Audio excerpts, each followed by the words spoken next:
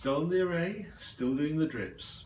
Uh, in the last experiment, whichever pixel we randomly selected, we randomly selected a colour and then we faded from that colour to its complement, which is at the opposite side of the colour wheel.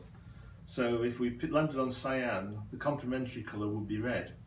In this case, we're using a split complementary seed in which we randomly pick one of the colours on our colour wheel, let's say it's cyan, uh, and then we, the split complementary, we're using two colours either side adjacent to what would be the complementary colour. So you can see here, whenever a pixel lights up, it lights with one colour, it fades to one of the split complementary colours, and then fades to the other split complementary colour, and then fades back to black. Uh, once again, this is one step further forward to being able to use colour more wisely in future experiments.